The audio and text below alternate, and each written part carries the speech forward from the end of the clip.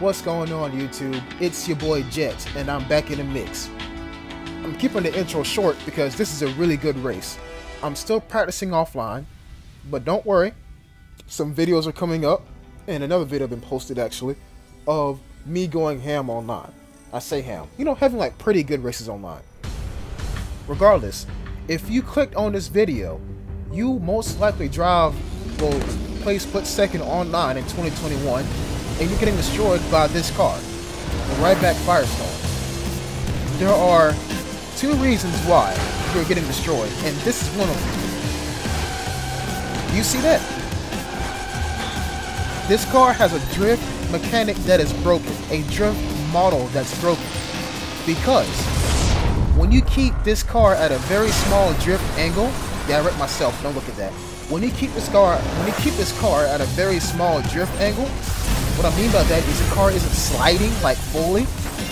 The difference between the front wheels and the back wheels is like very, very, very tiny in terms of angle. This car achieves like a broken maximum speed. And look at that, I drifted so well that I hit two level 2 power plays in like two turns. That's how broken this car is when it comes to drifting. The, the speciality of this car is being able to drift while almost going in a straight line.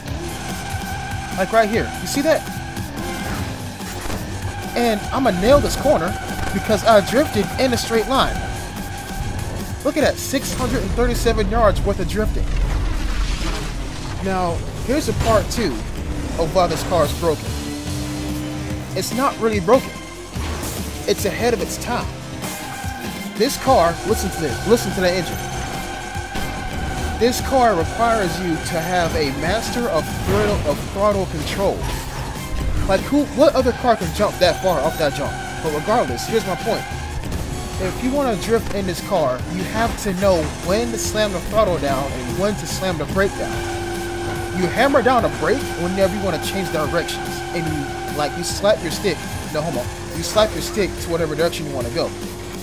You do that multiple times like this, and that's how you get that top speed because you're chaining yourself into uh, like a top speed scenario. And look at that, another huge drift. That's how I picked this this map because that one corner best demonstrates why I'm, why I'm making this video.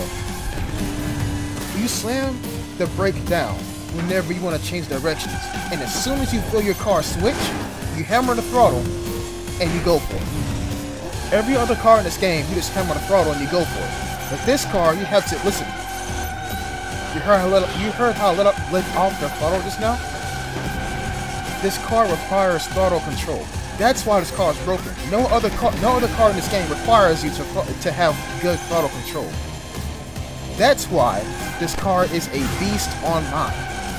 It took me a couple of races to get it, but I get it now. Like I said, stay tuned to the channel to see um, me using this car in online racing, but this is why this car is broken.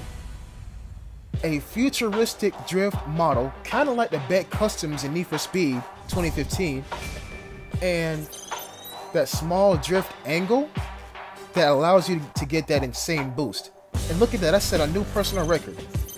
Just for a reference, the GT12 or the GT1, that was the car that set my previous best record, and that's considered to be the fastest car offline. I hope you enjoyed this video, and like I said, stay tuned, some videos of me racing in this car coming up soon. Until next time, peace.